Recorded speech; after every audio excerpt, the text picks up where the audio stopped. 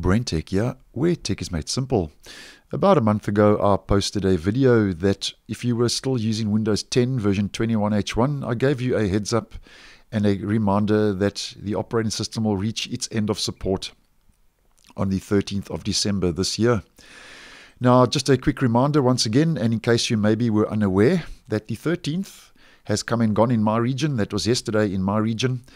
And um, this was the last Patch Tuesday um, that Windows 10 21H1 will receive any security and quality updates. So, meaning that means that from the 14th onwards, um, you will be unsupported and the operating system will have reached its end of life. Now, um, at the get go, um, you will not notice too much difference in your operating system, even though it is unsupported, as many of you may well know. Um, because you have just received a security update, you should be good for the next month or two with security. Your apps should run fine, but as you leave it longer, if you haven't been upgraded already automatically by Microsoft, if you don't upgrade to a newer version of Windows 10, um, over the next couple of months, you may start running into security issues. Uh, where your operating system may be vulnerable to threat and attack. And also, because you won't be getting any quality updates, um, you may find over the next couple of months, the longer you leave it, your operating system may become glitchy and unstable in, um, regarding certain aspects of the operating system.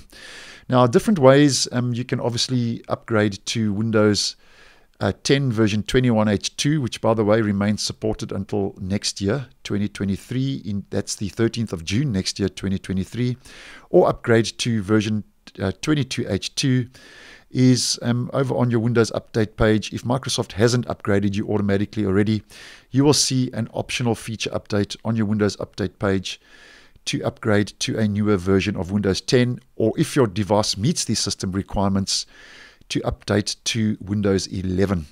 Now, if you are not ready to take the plunge um, to Windows 11 as yet, um, then there is not much difference between Windows 10 version 21H1, which was the May 2021 feature update, and version 22H2 as an example, which was the October November 2022 feature update. There's not much difference. Most of the changes take place under the hood, and bar maybe one or two small user interface tweaks.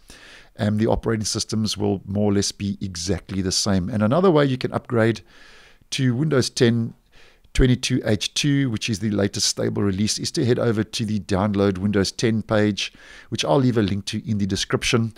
And I would suggest using the Update Assistant. It's the easiest option um, and the next best after upgrading through Windows Update.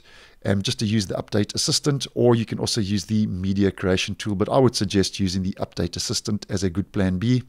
So, just another friendly reminder, as mentioned, that Windows 10 version 21H1 is now um, no longer supported and, and has reached its end of life starting the 13th of December, which was yesterday in my region. So thanks for watching, and I will see you in the next one.